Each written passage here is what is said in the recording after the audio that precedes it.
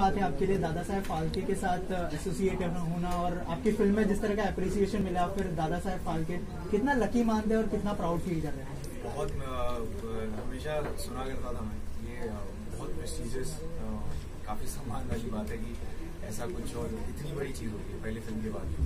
और बहुत खुशी हो रही है, बहुत ही ज़्यादा नर्वस हूँ, क्योंकि दादा साहब फाल्के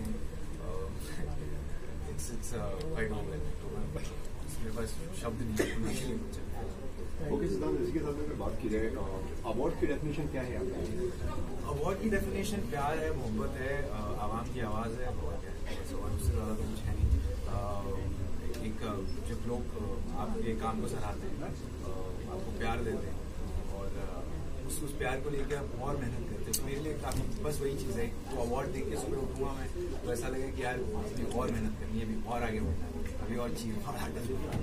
ओके गली बॉय जो है ऑस्कर में नॉमिनेशन में आई थी लेकिन ऑस्कर जो है जीती है पैरासाइट क्या कहना चाहेंगे? क्या शुभकामनाएँ होगी फ़िल्म के लिए? और बहुत अच्छी फ़िल्म है और पहली बार हुआ है जो जीती है और हिस्ट्री क्रिएट हुई है। मैं देख रहा था उसको इनफैक्ट लाइव देख रहा था सात बजे शूट कर रहा था। और बहुत ही प्राउड मूवमेंट है ये सबके लिए कि कुछ अलग हो रहा है कुछ चेंज हो रहा है तो कुछ सालों में शायद हम भी भारत को ले जाएँगे और का नाम रोशन करेंगे।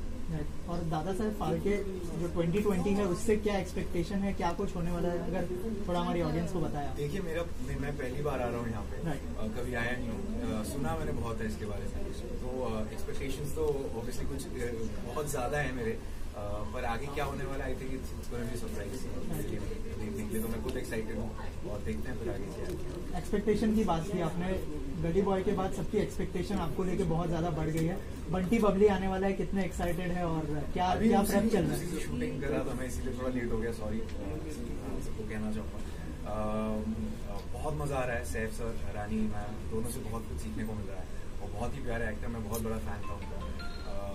हम तो तारा रंपम Right. तो अब उनके साथ मतलब बहुत अलग लगता है जब आप बचपन से आप देख रहे हैं लोगों को और फिर उनके साथ कंधे से कंधे हूँ मैं।